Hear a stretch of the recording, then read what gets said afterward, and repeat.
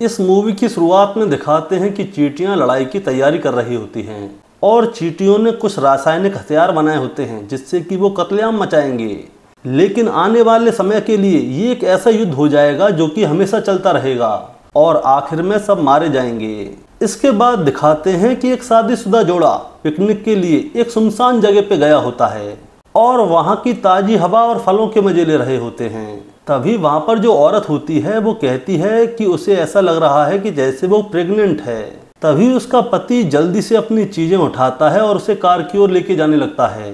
लेकिन वो जल्दबाजी में अपना कंबर और कुछ खाने की चीज़ें वहीं पर छोड़कर चले जाते हैं और इसी दौरान दिखाते हैं कि जंगल में कीड़े अपनी मस्त ज़िंदगी गुजार रहे होते हैं। लेकिन तभी तीन छोटी लेडी वक्स अंडे से निकलकर ज़मीन पर गिर जाते हैं। उनके माता पिता उड़कर अपने बच्चों के पास जाते हैं। और वो अपने बच्चों को उड़ना सिखाते हैं। पहले तो लेडी बक्स के बच्चे अच्छे से उड़ नहीं पाते। उनमें से एक उड़ने की कोशिश करता है, लेकिन वो चट्टान पर गिर जाता है। लेकिन जल्दी से बच्चे अपने माता पिता की नकल करते हैं और अच्छे से समझ जाते हैं कि उन्हें उड़ना कैसे है। उनका परिवार घास और नदियों के ऊपर से उड़ते हुए मस्त मज़े में जा रहा होता है।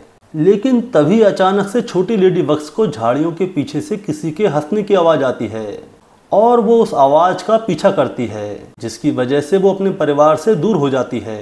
वो एक छोटी सी मक्खी का पीछा करती है, जो कि खुशी से हंस रही होती है, और वो उसका पीछा करते करते जंगल से काफ़ी दूर चली जाती है। मक्खी जैसे ही एक जगह पे बैठती है तो लेडी बग भी उसके पास आकर बैठ जाती है, और मक्खी से बात करने की कोशिश करती है कि तभी वहाँ पर चार बड़ी मक्खियाँ आ जाती हैं, और वो लेडी बग को घेर लेती हैं। और बड़े ही खतरनाक ढंग से भिनभिनाने लगती हैं, जैसे कि उसको खाने वाली हों। और बेचारी डरी हुई लेडी बक वहाँ से छलांग लगाती है और उनसे बचने की कोशिश करती है, लेकिन वो उसका पीछा नहीं छोड़ती। लेडी बग को अपनी ताकत के बारे में पता नहीं होता और तभी वो एक चट्टान से जाकर टकरा जाती है और एक दरार में गिर जाती है और इसके कारण उसका एक पंख टूट जाता है। अब मक्खियाँ उस दरार के पास काफ़ी देर तक रुकती हैं, लेकिन थोड़ी देर बाद वो वहाँ से उड़कर चली जाती हैं। अब जैसे ही लेडी बग अपने होश में आती है तो वो उड़ने की कोशिश करती है। लेकिन उसके लिए अपने एक ही पंख से उड़ना इतना आसान नहीं होता। अब शाम हो जाती है और वहाँ पर बारिश होने लगती है। और अब बेचारी लेडी बग उस दरार से बाहर निकलती है और मदद के लिए चिल्लाने लग जाती है। लेकिन उसकी मदद करने के लिए वहाँ पर कोई भी नहीं होता। फिर वो बारिश से बचने के लिए, किसी जगह पे छुपने के लिए खुले में भटक रही होती है। तभी वो लोगों के द्वारा छोड़े गए उस चीनी के डिब्बे में छुप जाती है। और वहीं पूरी रात बिताती है। अब सुबह जोरदार भिनभिनाने की आवाज़ के साथ वो जाग जाती है और डब्बे के बाहर झांकने लगती है और बाहर बहुत सारे कीड़े वहाँ पर रखे खाने को अपने साथ लेकर जा रहे होते हैं। मक्खियाँ चिप्स ले जा रही होती हैं तो खटमर कुकीज और कुछ माचिस के डिब्बे को ले जा रहे होते हैं। लेकिन जल्द ही वो माचिस के डिब्बे को गिरा देती हैं और दूसरे खाने की चीज़ों के पीछे भागते हैं। तभी दिखाते हैं कि काली चीटियों का एक झुंड वहाँ से गुजर रहा होता है। और तभी उनके लीडर को चीनी की खुशबू आती है और वो डब्बे की तरफ़ भाग कर जाता है। उन्हें अपनी ओर आते हुए देखकर लेडी बग दोबारा से उसी डिब्बे में घुस जाती है। लेकिन चीटी का ध्यान लेडी बग पर जाता ही नहीं। उनका लीडर चीनी को सूंघता है और थोड़ा सा चक्कर देखता है और उसे चीनी को एक बार चखने से ही काफ़ी खुशी मिलती है। फिर वो अपने सभी साथियों को सिग्नल भेजता है और वो उनसे कहता है कि बाकी के सामान को गिरा दो और सभी इस डब्बे की ओर आओ। अब बाकी चीटियाँ ऐसा ही करती हैं। वो डब्बे के नीचे इकट्ठा होती हैं और उसे उठाकर अपने घर की ओर ले जाने लगती हैं। इसीलिए लेडी बग अब लंबी यात्रा पर निकल जाती है। अब रास्ते में चीटियाँ उस डब्बे को झुकाती हैं। इसकी वजह से चीनी के क्यूब्स उस लेडी बग के ऊपर गिर जाते हैं। वो रुकने की कोशिश करती हैं, लेकिन तब तक चीटियाँ उस डब्बे को पत्थर से नीचे गिरा देती हैं। तो लेडी बग उस डब्बे से बाहर गिरकर बेहोश हो जाती है। अब चीटियाँ बिखरी हुई उस चीनी के क्यूब्स को इकट्ठा करने लगती हैं। और फिर उस लेडी बग की मदद करने के लिए जाती हैं। इसी बीच एक छपकली की नज़र उनके ऊपर पड़ जाती है और वो पत्थरों के ऊपर चढ़कर उनके पीछे से चिल्लाने लगती है और चीटियाँ उससे डरकर चीनी के क्यूब्स के पीछे जाकर छुप जाती हैं। अब छिपकली चीनी के लीडर के पास जाती है और उसको खाने की तैयारी करने लग जाती है। लेकिन तभी लेडी बग वापस से होश में आ जाती है। और वो जल्द ही डब्बे के अंदर जाती है और अंदर से आवाज़ें निकालने लग जाती है, जिससे कि छिपकली डर जाती है और वहाँ से भागकर पत्थरों में छुप जाती है। अब खतरा टल चुका होता है, इसीलिए चीटियाँ उस डब्बे के पास पहुँचती हैं और लेडी बग से बातें करने लगती हैं। लेडी बग उन्हें बताती है कि वो उड़ नहीं सकती, इसीलिए अब चीटियाँ उसे उनके साथ चलने के लिए कहती हैं। और फिर इस तरह से वो अपना सफ़र शुरू करते हैं। और अब जल्द ही गुस्से वाली लाल चीटियों की नज़र काली चीटियों के ऊपर पड़ती है। वो उनकी तरफ़ गुस्से से देखती हैं और काली चीटियों का रास्ता रोक लेती हैं और चीनी के डिब्बे की ओर बड़े प्यार से देखती हैं। अब काली चीटियों का लीडर अपने सभी साथियों से रोकने के लिए कहता है। वो डब्बे में से एक चीनी का क्यूब निकालता है और लाल चीटियों को गिफ्ट कर देता है। अब वो जल्दी से वहाँ से भागकर जाता है और अपने साथियों से उस डिब्बे को वहाँ से कहीं दूर ले जाने के लिए कहता है। अब लाल चीटियाँ बड़ी ही आग बबूला हो जाती हैं, क्योंकि उनको सारी चीनी नहीं मिलती। इसीलिए वो सभी मिलकर काली चीटियों का पीछा करती हैं। अब काली चीटियों को इस बात का तब पता चलता है जब वो एक ढलान के पास पहुँच जाती हैं।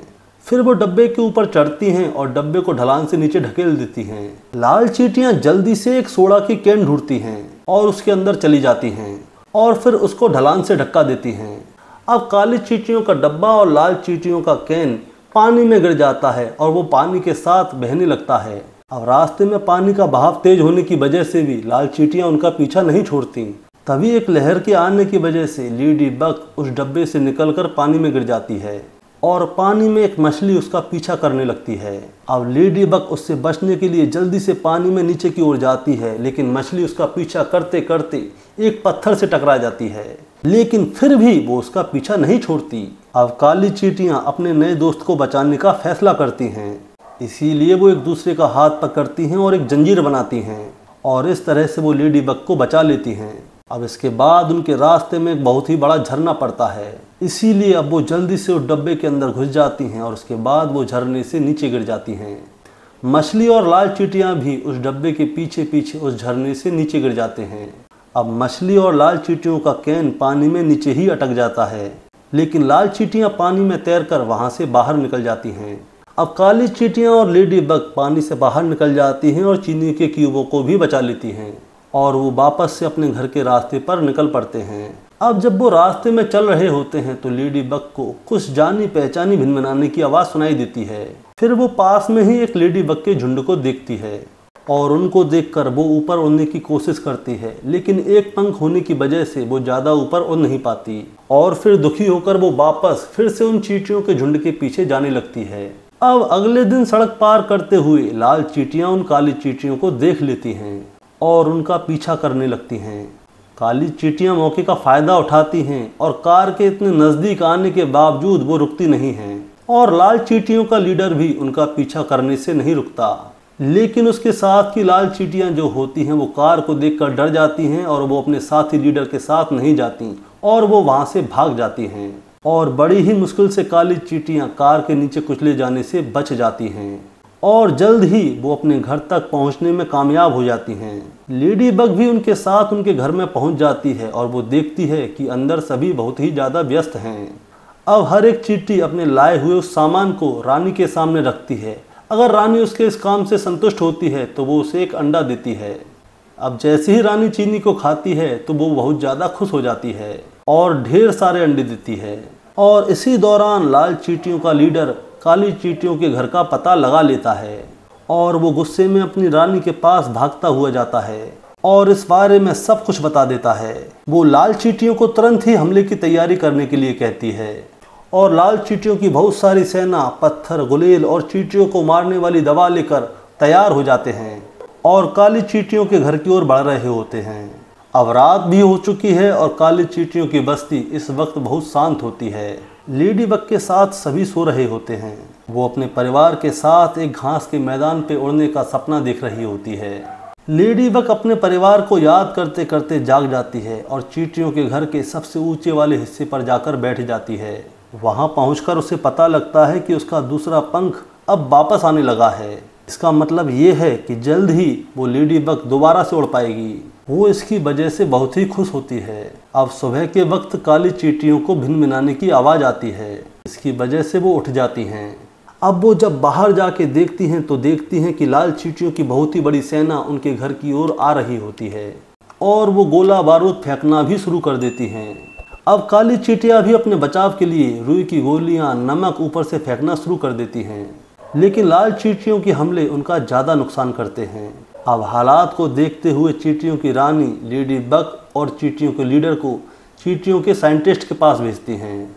और अब वो इस समस्या के बारे में जानने के बाद अपने पास रखे हुए सामान को देखता है। तो उसको वहाँ पर एक माचिस की डिब्बी और कुछ पटाखे दिखते हैं।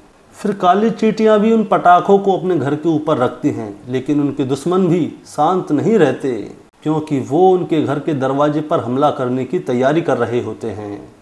अब काली चीटियों का लीडर उस डब्बे को खोलने की कोशिश करता है और उसके बाद वो देखता है कि उस माचिस के अंदर तो सिर्फ़ एक ही माचिस की तिल्ली बची हुई है और फिर वो माचिस के डब्बे पर बने उन निर्देशों को पढ़ता है और उस तिल्ली को जलाता है और फिर वो उसको उस पटाखे में लगाता है और उसके बाद वहाँ पर एक बहुत ही बड़ा विस्फोट, वो पटाखा उड़कर उन लाल चीटियों के ऊपर जाकर गिरता है और धमाके की वजह से बहुत सारी लाल चीटियाँ लाल हो जाती हैं।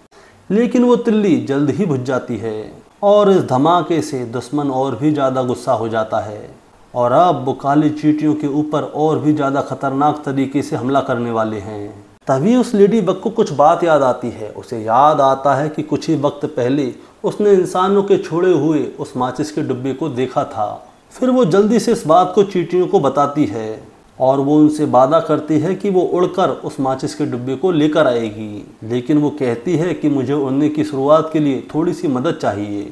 और फिर चीटियाँ उसके लिए कागज़ का एक जहाज़ बनाती हैं और लेडी बग उसके ऊपर बैठकर उड़ना शुरू कर देती है। और फिर काली चीटियाँ उसका जल्दी से वापस आने की उम्मीद करती हैं। अब लेडी बग बिना किसी परेशानी के साथ उड़कर वहाँ पर पहुँच जाती है, क्योंकि उसका दूसरा पंख आ चुका होता है। अब वो उस माचिस के डब्बे को उठाने की कोशिश करती है, लेकिन उसकी नज़र एक मकड़ी के ऊपर जाती है, जो कि धीरे धीरे उसकी ओर बढ़ रही होती है।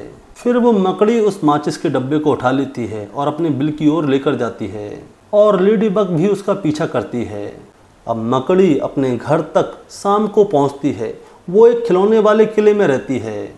अब लेडी बग चुपचाप से उस मकड़ी के घर में घुस जाती है, और अंदर जाके उसे पता चलता है कि उस मकड़ी को जाल बनाने के लिए माचिस की तिल्लियों की ज़रूरत थी, लेकिन वो कुछ करने की सोचती उससे पहले ही एक मेंढक उसको पकड़ लेता है, जो कि खिड़की से उसे खींच रहा होता है। अब लेडी बक अपने पंजे झटपटाती है और उस खिड़की को पकड़ लेती है। लेकिन मेंढक उसे लगातार खींच रहा होता है, जिसकी वजह से खिलौने का महल उस मेंढक के ऊपर गिर जाता है और वो मर जाता है। अब लेडी बग भी बेहोश हो जाती है और वो फिर से अपने परिवार के साथ घास के मैदान के ऊपर उड़ने का सपना देखती है। अब जब उसे होश आता है तो उसे पता चलता है कि वो तो मकड़ी के घर में है और मकड़ी बहुत ही ज़्यादा खुश है क्योंकि वो मेढक मर गया। और वो मन ही मन में सोचती है कि ये सब कुछ लेडी बग की वजह से हुआ है।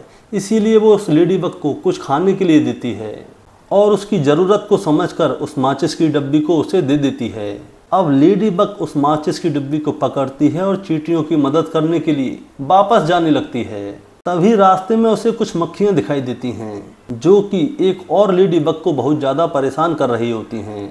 अब ये देखकर वो उस माचिस के डब्बे को वहीं से छोड़ देती है और मक्खियों से निपटने के लिए उनके पास जाती है। वो उन मक्खियों का ध्यान अपनी ओर खींचती है और उन्हें हाईवे की ओर लेकर जाती है। और तभी एक कार बहुत ही ज़्यादा तेज़ी से उस ओर आ रही होती है, जिसमें कि लेडी बग तो बच जाती है, लेकिन वो सारी मक्खियाँ उस कार से टकराकर नीचे गिर जाती हैं।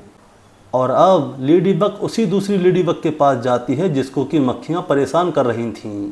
वो एक दूसरे से बातें करती हैं, और बहुत ही जल्द वो लेडी बग उससे वापस आने का वादा करती है। अब माचिस के डब्बे को पकड़कर वो पूरी तरह से तबाह हुए, उस चीटी के घर की ओर वापस बढ़ती है। वो लाल चीटियों की सेना के ऊपर से उड़ती है और माचिस के डब्बे को काली चीटियों के घर के ऊपर लेकर जाती है। चीटियों का लीडर उसका शुक्रिया अदा करता है। और अब काली चीटियाँ लाल चीटियों के ऊपर माचिस के डब्बे से उन पटाखों को जलाकर हमला करती हैं और पटाखे घूम घूम कर ज़मीन पर गिरते हैं और धमाका करते रहते हैं। और धमाके की वजह से चीटियों के जहर के टैंक में बहुत ही बड़ा धमाका होता है, जिसकी वजह से लाल चीटियों को पीछे हटना पड़ता है। अब लाल चीटियाँ तो हार जाती हैं, लेकिन काली चीटियों के घर के आसपास बहुत ही तेज आग लग जाती है और काली चीटियाँ और वो बग घर के अंदर छुप जाते हैं। लेकिन तभी उन्हें एक अजीब सी आवाज़ सुनाई देती है। एक हवाई जहाज़ चीटियों के घर के ऊपर से उड़ता है और आग को बुझाते हुए वहाँ से निकल जाता है। आग तो बुझ जाती है, लेकिन उस पानी की वजह से चीटियों का घर भी तबाह हो जाता है। फिर बची हुई चीटियाँ और लेडी बग उस मलबे से बाहर निकलती हैं और चुपचाप अपने आसपास देखती हैं और फिर धीरे धीरे से समय बीतता है और लेडी बग थोड़ी बड़ी हो जाती है। और वो अपने उस दोस्त के साथ होती है जिसको कि उसने उन मक्खियों से बचाया था। उनके पाँच बच्चे होते हैं जो कि पहले ही उड़ना सीख चुके हैं। लेडी बग का पूरा परिवार घास के मैदान के ऊपर उड़ता है और अपनी शांत ज़िंदगी मज़े से जीता है और मेहनती काली चीटियाँ वापस से अपने घर को बना लेती हैं। और यहाँ पर लेडी बग उन चीटियों को नहीं भूलती जिन्होंने की उसकी मदद की थी। वो रोज एक सुंदर सी जगह पे मिलते हैं और सूरज के डूबने का मज़ा लेते हैं। और दोस्तों, यहाँ पर ये मूवी खत्म होती है। इस मूवी से आपको क्या सीखने के लिए मिला? कमेंट करके ज़रूर बताइएगा। अगर आप चैनल पे नए हैं तो सब्सक्राइब करके जाइएगा। नमस्कार।